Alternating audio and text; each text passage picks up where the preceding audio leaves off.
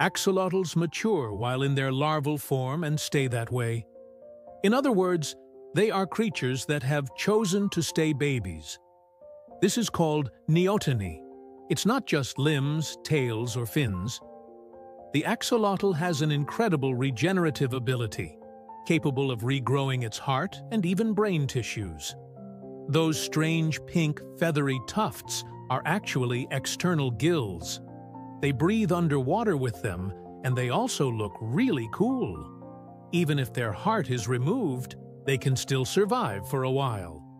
Of course, these experiments are no longer conducted for ethical reasons, but this trait amazed the scientific world. Due to their facial structure, they always appear as if they are smiling. This makes them both funny and adorable. Thanks to their regenerative abilities, axolotls are the subject of serious scientific research for treating nervous system, heart, and organ diseases.